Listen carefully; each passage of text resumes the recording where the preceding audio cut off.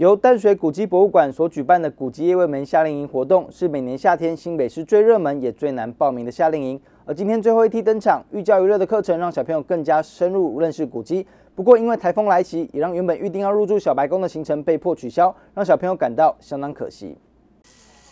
仔细听着专业导览讲解，护卫炮台一砖一瓦的历史一字说分明，故事说的精彩，小朋友听得专心。这就是由淡水古迹博物馆所推出的古迹夜未眠夏令营活动。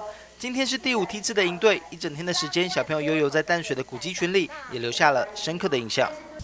很好玩啊！对，印象最深刻是什么？呃，介绍红毛城的时候，因为呃。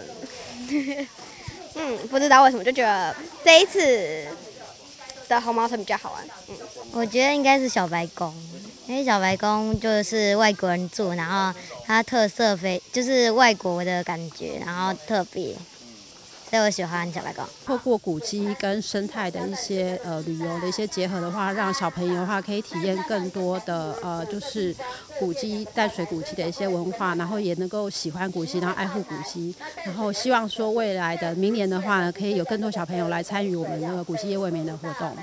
而淡水古迹夜未眠的营队活动最大的特色就是在小白宫里住一晚。草坪上搭起帐篷，也让小朋友相当期待。但今天受到台风的影响，第五梯次的学员恐怕期待要落空了。因为安全的考量，这一梯次将取消夜宿小白宫的行程。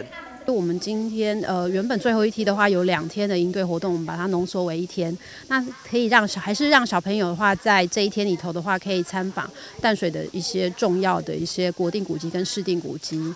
那呃，然后也透过一些营队跟团康的一些活动的话，让小朋友的话可以学习怎么去做诶团体的一些合作，然后一起的让他们可以度过一个难忘的一个暑假。